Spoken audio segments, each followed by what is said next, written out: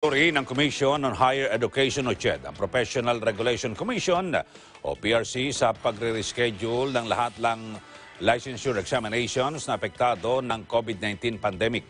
Ayon kay CHED Chairman Prospero De Vera, nag-aalala na ang public at private higher education institutions, mga estudyante at mga magulang ukol sa schedule ng licensure exam kaya humingi na sila ng tulong sa komisyon para sa kanselasyon ng mga pagsusulit.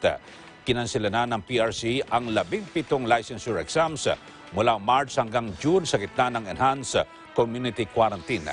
Ayon kay De Vera, hindi pa hindi problema ang mga licensure exam na isinasagawa dalawang beses kada isang taon dahil maaari itong kuhanin ng mga estudyante sa pangalawang exam. Anya, madaling maresolba ang pagtaas ng bilang ng mga estudyante sa pangalawang exam dahil ang graduating batch ngayong taon ay kabilang sa nabawasang numero ng K-12 transition batch.